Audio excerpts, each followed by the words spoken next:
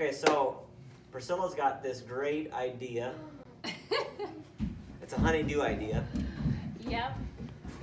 I have put up with this ugly old bookshelf for a long time. Shelf. All the shelves are falling out and it's just very rickety. It's a Walmart special and worse. So I pleaded with Jois that asking him that he would just make me a bookshelf. I don't care how it is, just make me a bigger bookshelf. So you can see these papers are on the floor because the children, this thing's literally falling apart. There's no place for it. It's like shaking in the in the breeze. And This have- is upstairs in our family room right here. Yeah, and we have a basket of books back here because There's nothing games in here. doesn't fit. So here's what she wants to do. She wants to throw this thing away, which I'm highly agreed. I'm too cheap. I don't want to spend $300 on a decent bookshelf. So I told her I'll help her make a bookshelf, the whole family actually. So we're going to go out to our barn this afternoon, right now, and in two hours, we're going to try to make a bookshelf. We're going to make it out of rough sawn lumber. We might not get it painted though. No, no, just put Just- together and yeah. maybe hopefully sanded. Yeah. And then we have to stain it or paint it later. Okay? Think we can do that, kiddos? Mhm. I'm excited. I can't wait. So we're gonna make it 45 inches wide overall, five feet tall, and 12 inches deep with three shells. Okay, so the time starts now.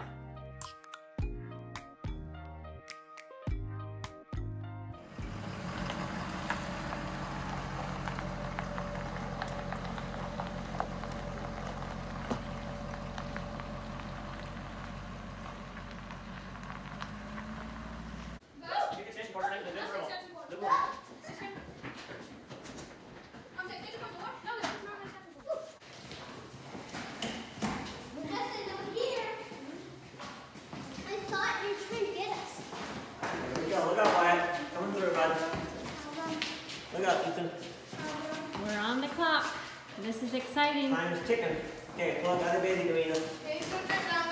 Okay, Justin, come do it with me. Justin.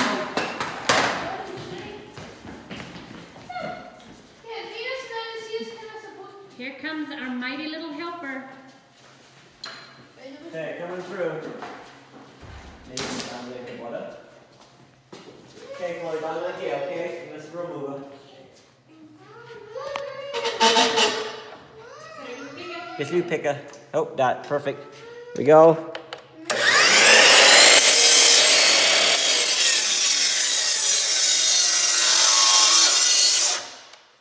Breaker flipped. Because lots you had, the latest was so. Finger.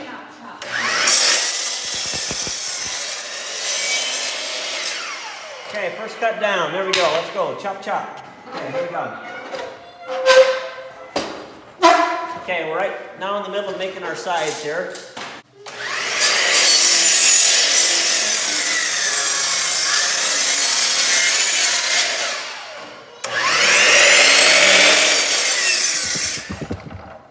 So one secret I'm going to show you is you always cut forward first and then you can go down and cut back. When you, if you cut forward, you score the top and it makes a nice clean cut. If you just go like that, cut back, it can frazzle it up and then it, it's all frazzly. So you cut forward first. First you make sure you're on the line, which we are. Cut forward.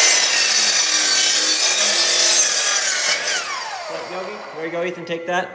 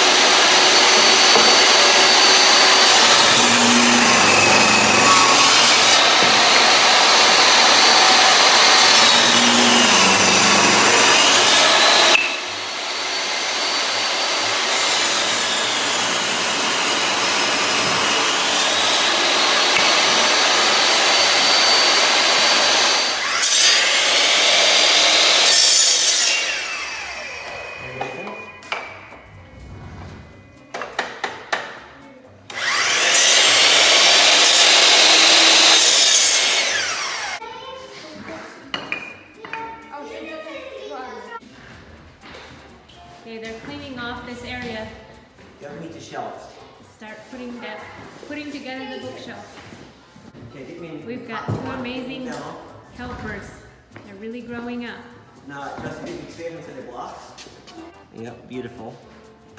Okay, that's how we're gonna do that. See if we're missing anything before I get too crazy here.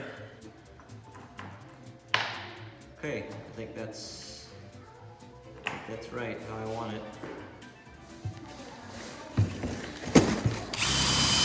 Perfect.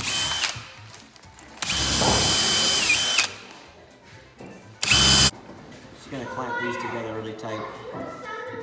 Beautiful. Now, to put these right in place where we want them.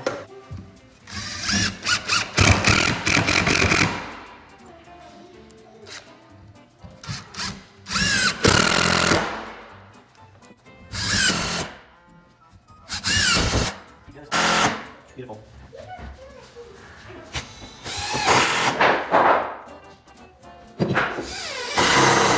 Because, but anyways, the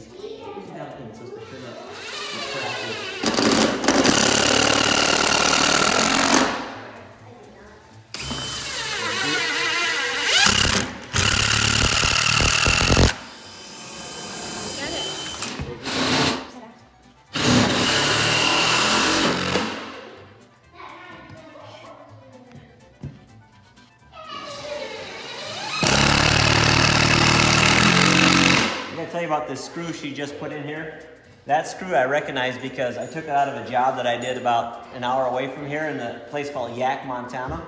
And that screw was put in by my cousin Harley Miller about 20 years ago on some railing. I, I replaced the railing, so now it's, it's reclaimed screw.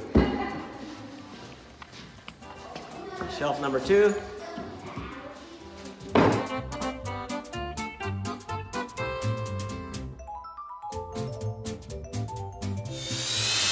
Give it a light sandy with your fluffy brush. Pretty smooth right there, awesome. Okay. Now we're gonna hit the front just a little bit. Yeah, get that front a little smoother.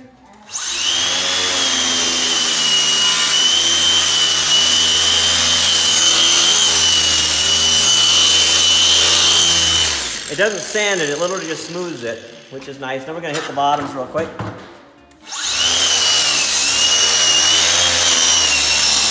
You see it lightens it up some.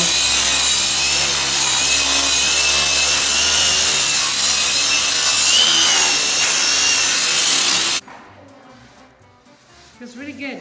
Awesome. Okay, one down.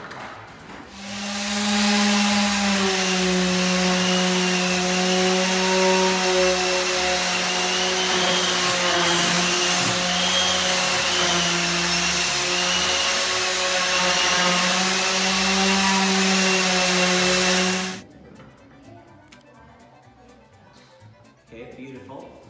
Now, um, we're right on our mark where we want to be right there. And I want to make sure I'm exactly one inch in. Okay. And I want to make sure I'm square.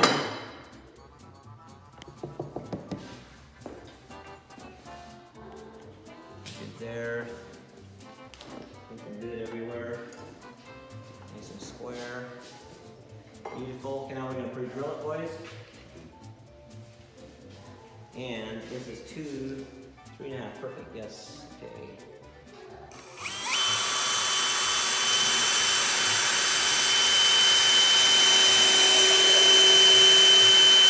Oh, Ethan, you put this thing on one. You're playing, messing with me, boy. Buddy boy. Now it's all messed up again. But somebody was playing. You're not paying attention. That would be Ethan.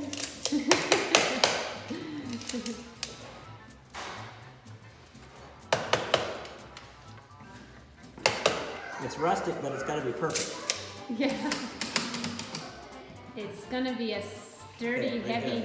Okay, let's put a screw in there before we do anything else.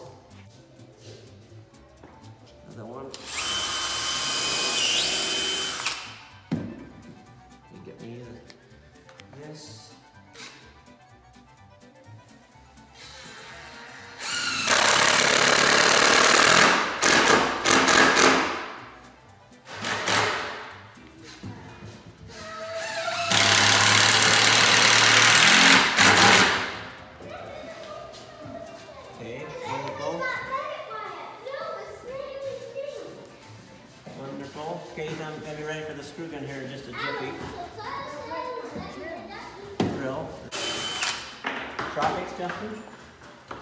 Ah, another reclaimed screw.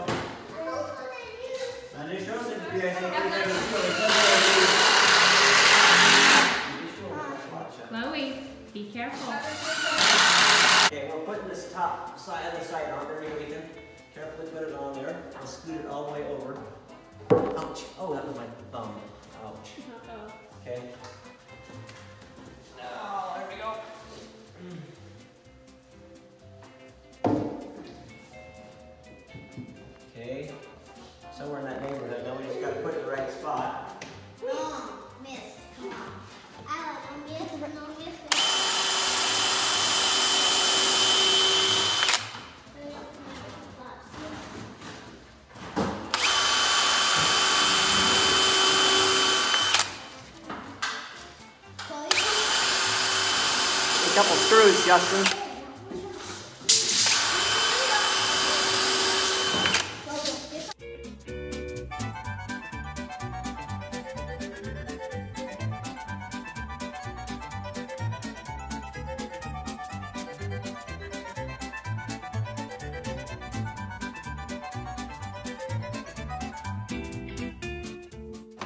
Awesome.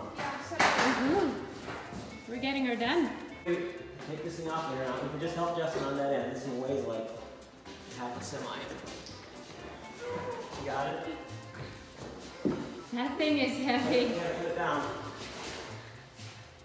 It's not a one-man show, I'll tell you that. Woohoo! Look at that. Now we just gotta put a lid on it. Okay, put the lid on. it's the top. If that fits. That should fit. Perfect. Okay, pick that up a little bit. Wow, look at that. Talk about fitting. Okay, so we decided, I didn't like that this face was flush here, so I'm gonna bump this forward, make a little modification, and I'm just gonna add a strip back here along the back. So I bumped it forward another inch and a half. We'll just add a strip here, and you'll never know it. So we're gonna rip that next.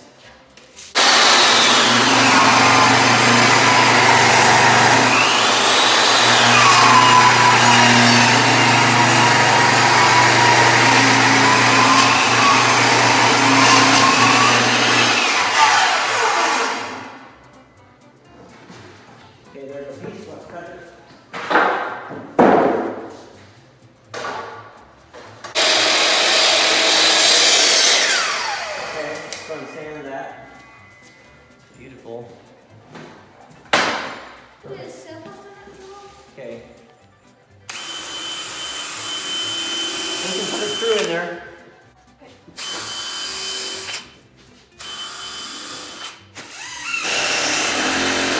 Okay, this effort and everything next. Here. Okay, so we're gonna put the back on right now. So this, we're gonna use this galvanized metal I had left over from our wainscot. So we're gonna go and that's what we're gonna do next. I gotta cut, cut it for length. Super rustic, but I like And I'm gonna show you a trick here. Rather than chalking it across, I'm going to take this other piece of metal right here, lay it on top, and that's my straight edge. Somebody showed me that trick, and I thought it was pretty cool. You simply go like that. There we go. And that's my straight edge right there. Trace along there. No chalking lines or anything.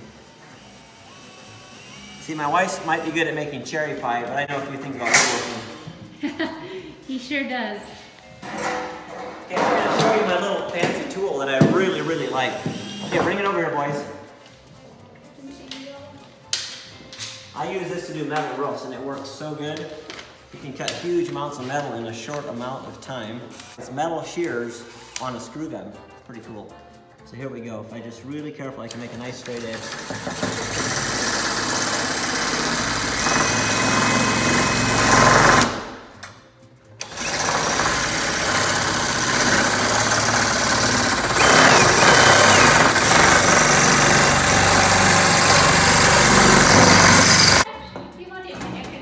There we. That me.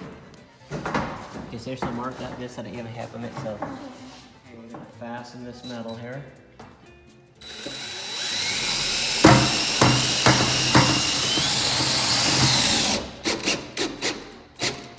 Sweet. That's good. We're just using simple drywall screws.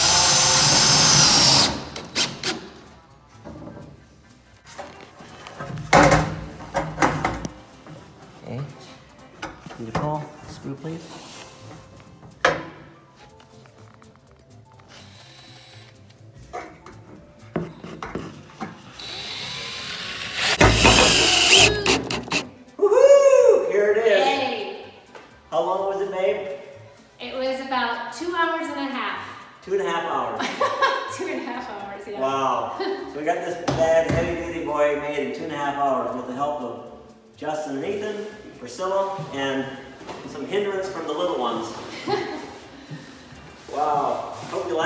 This was a weekend weekend bookshelf.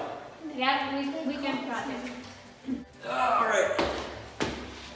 Yep, so as you can see, we used full two inch by eight inch uh, boards that we cut on our bandsaw mill at Metal Art, log homes. And then we used this galvanized wainscot for the back, uh, which we had, we had used for wainscot for the inside of this uh, building. And so we decided to use that for a rustic back. But this thing is strong. We have four shelves. It's a total of uh, 40, just under 48 inches wide, so it's just under four feet wide, and it's uh, five foot tall, Yeah, and it's got four shelves. So Priscilla's been begging for I have. a long time, and now we have it. This is amazing. In two and a half hours, we got this done. Or mostly the guys got this done. So I'll show you some of the features of this bookshelf. I raised the floor off the, the bottom shelf off the floor one inch, and again, the bottom shelf in between the two shelves is 15 inches, 12 inches, then 10, and 10 inches. So it's 10, 10, 12, and 15. And we overhung the end one inch. These were all rough cut boards. And we just sanded them down a little bit with our buffing brush. And so there you have it. I think it's gonna look good in our house. yeah, we will show you next time the finished look with the uh, varnish Finish or on it, the yep, stain yep. or whatever it- we decide. And as you can see, we're inside our doghouse right here. This is inside our barn, and we're almost ready to uh, get some dogs in here, but we're still just putting the finishing touches on it. We have to finish the floor. Uh, we're gonna acid stain the floor and a few things like that. Put some the kennels up inside, and we're good to go. Was that fun, guys? Yeah. Good job. Thanks for helping.